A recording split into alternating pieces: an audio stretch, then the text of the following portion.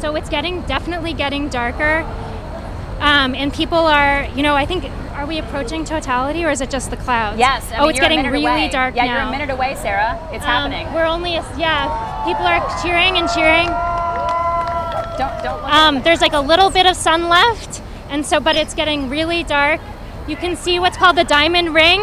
Um, you can hear people shouting. I feel shivers going. To, oh my gosh, I feel shivers. Sarah, it's keep your glasses amazing. Oh. Everyone's cheering now and clapping. You can see we've reached totality and we're seeing it. And you can see, uh, you can. See, sorry, I'm like really overwhelmed. Um, this is what people talk about. Well, It's really, really beautiful. You're very Uh-huh. articulate in your speechlessness. Um, my legs are shaking. Um, it's really, really beautiful, and we all thought we weren't going to get to see it. We thought that there would be clouds. A cloud is moving now over the sun, unfortunately, but we did see that moment of totality. That was really amazing. Um, yeah, and it's it's really dark here. It feels like like sunset. You can hear actually. I heard that the cicadas were supposed to get quieter, but I hear them now, and it sounds like you know a summer evening. Um, and the all around all around me, I can see sort of at the horizon. The light is kind of sort of yellow and sunset colors. It's really beautiful, actually. Even though um, you know, even though we can't see so totality, we're looking around me. It's it's gorgeous. Wow. Sarah, we can see a shot there of uh, the sun and moon poking through the clouds, and we can see a glimpse of totality there as the clouds move. Oh my gosh, look, it's just like a perfect little hole there. Wow.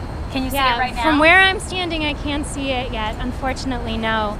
Um, there's a cloud Wow, right over me, but I do see a star. Yeah. I'm actually not. I'm not sure what star it is because I'm not oriented towards the night sky. The night sky in winter when it's summertime, but I can see a star poking out. I think it might be Venus. It's not a star; it's a planet, obviously. Um, yeah, and I can. The crickets are chirping. Um, it's it's really stunning. Everyone is just sort of like looking up and, and quietly watching. What, what, what does the Um, sky look like? What does what does the horizon look like? Is there still blue sky? Is it all deep purple? Is the Oh no no it yeah it looks like just before sunset um, or you know just at sunset the sky is kind of like streaked with pink and orange um, and I can see a couple couple more stars poking out.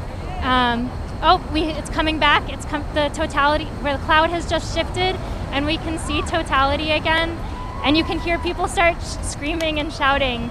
Um, it's just it's that perfect ring, and you can see. To me, it looks like there's sort of a red rim around it, but the moon is just starting to move.